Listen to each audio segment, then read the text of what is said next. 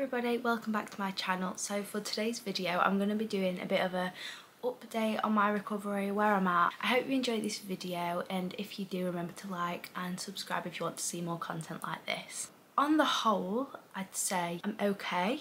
I am struggling quite a bit, obviously. I'm six months in now to recovery and it's hard. I'm fully weight restored. I'm like physically, I am okay. Obviously now, and as we all know, anorexia is not a weight disorder, it's not a physical disorder, it's a mental disorder. Obviously it was so, so tough having to gain the weight at, when I was weight restoring. However, I knew I had to and I knew it was sort of in the back of my head, well, if I have to gain weight, permission was there, which obviously you don't need permission to gain weight.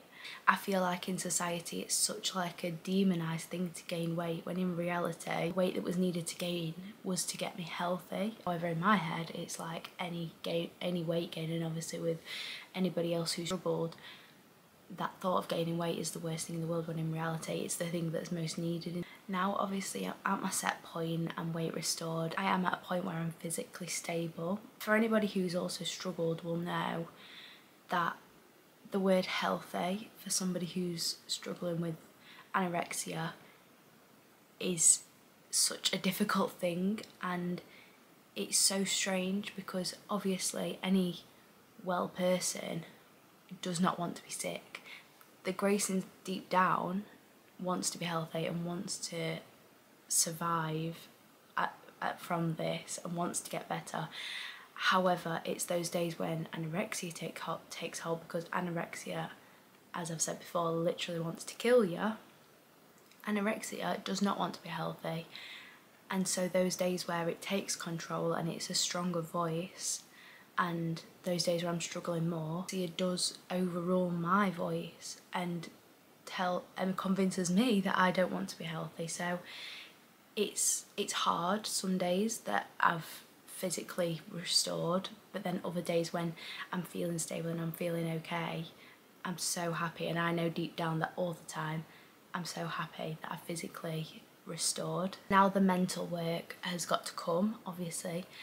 With my therapy it's going quite well. I'm still obviously under an eating disorder service. I'm nowhere near from getting discharged which it is overwhelming the amount of work to do to get better. However, it's such an amazing service that I'm under and I literally could not recommend them enough. They're helping me so much. It's Derbyshire Eating Disorder Service. If anybody is ever wondering a place to go, if you're not if you're not knowing where to turn to, I'll link their website below. But my therapy at the minute, it is difficult. It's it brings a lot of things to the surface, I think. It's made me realise that anorexia is not me and it's helped me separate those two voices. It's made me realise that no, actually, it is an illness, that it's not you thinking those thoughts. And so to be able to detach it and work through a way to get better, to get away from those thoughts, it is really helping me and it's made me realise that other voice, it has been a coping mechanism for things that have gone on in the past.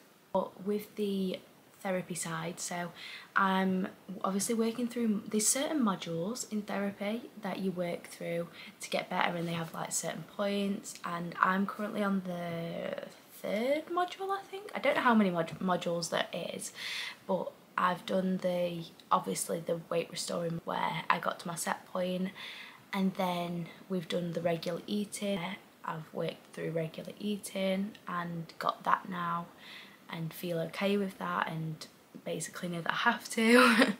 and so the module that I'm on right now is the body image module and it is really interesting. It's crazy how different I see my body than to what it actually is. Obviously the body dysmorphia part of anorexia is very strong for me and I don't know if this, I'm not educated enough to say whether, I don't know if this is something that everybody deals with, with body dysmorphia but if you don't that's okay and you're still valid. I never want I'm always so scared of triggering anything so I always just want to say like this is just my experience and I never want to like make anybody feel like they're not valid you are always valid. But we did a task last week which was crazy and basically I had to put on the wall post-it notes of how I saw my body and then I stood where the post-it notes and I put where I actually was.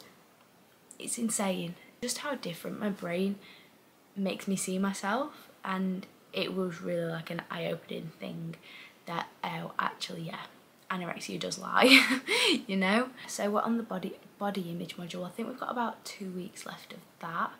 And then the next one is of challenging rules because obviously anorexia has a massive rule book and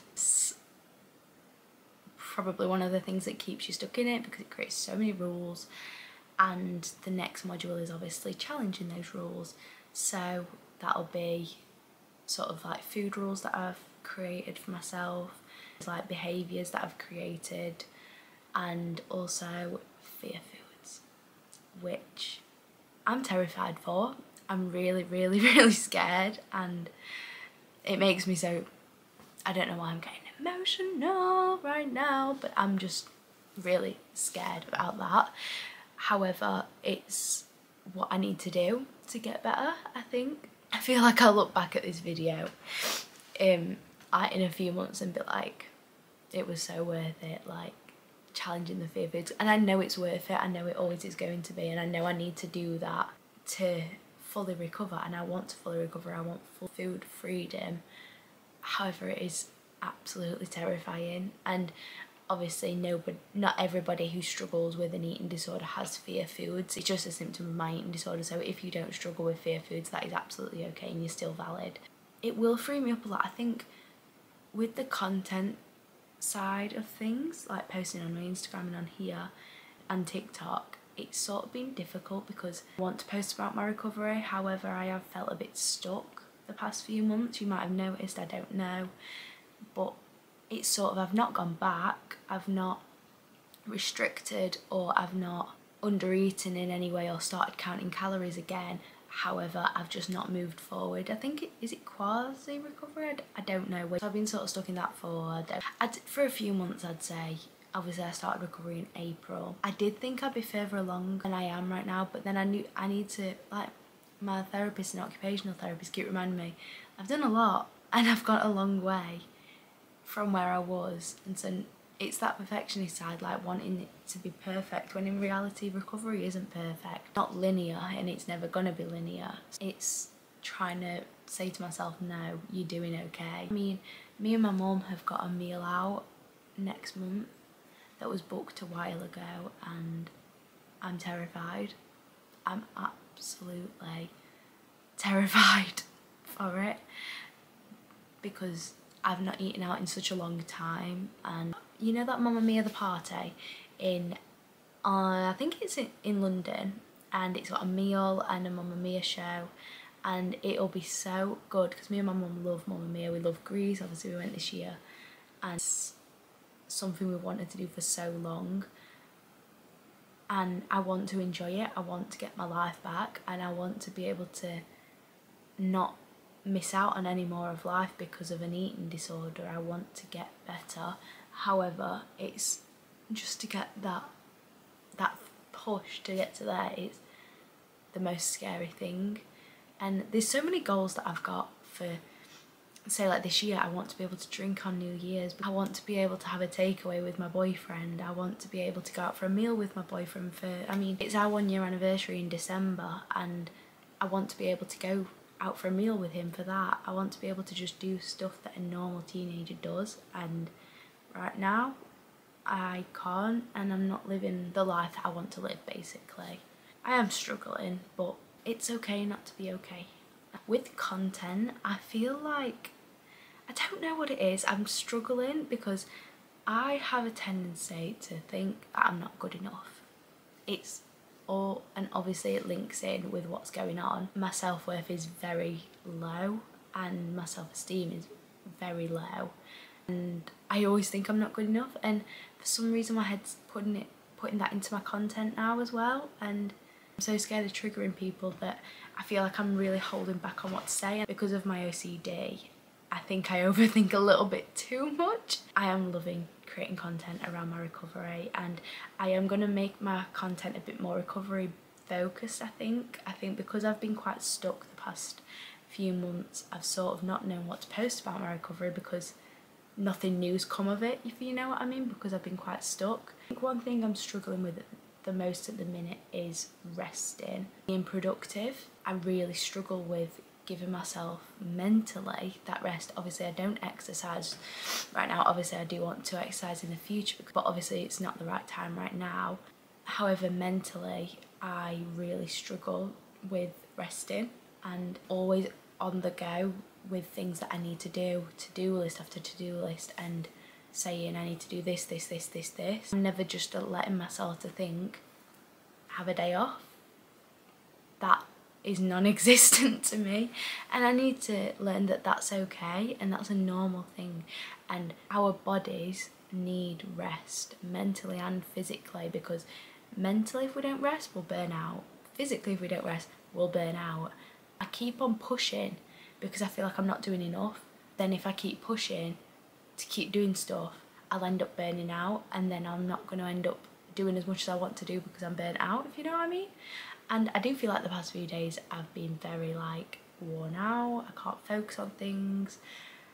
I feel like I've got a million and one things to do when in reality I don't have anything to do. Like basically just feel a bit all over the place. I need to learn that I need to rest. and I'm excited for what will be coming in the future with the occupational therapist. Obviously I only started it properly yesterday, I had my assessment yesterday and, and so from next week I will be obviously starting that and I'll be able to update you all on that. And I think that's basically just going to be focusing on like self-care. And I always preach stuff on my Instagram and I need to take note of my own advice. I feel like I give advice out to people and I talk on my Instagram obviously how I would to a friend because you're all friends, we're all internet besties. And I need to take note of that because talk to yourself like you are a friend. You're the number one person in your life, your body is literally keeping you alive, it's letting you do things. And so I need to treat it with kindness how I would a best friend.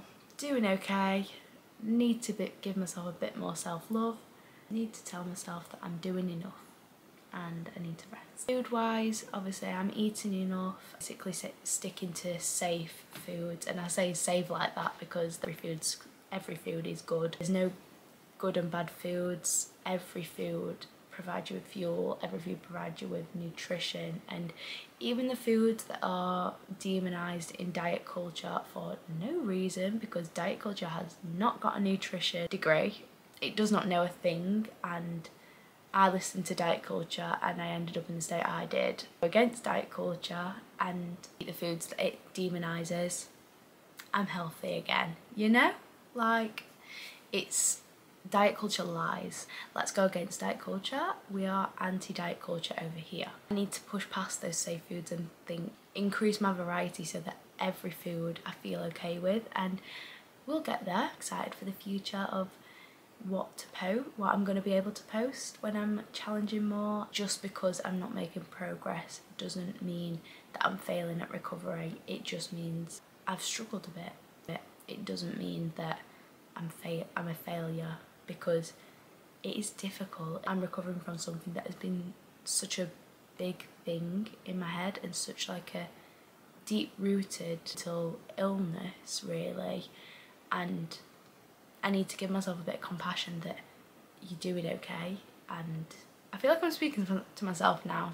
This is like a journal, not a journal, but I'm doing alright and I'm gonna get there. There's no time limit on recovery. It's not gonna be linear, it's hard, but you're doing it and we're getting there.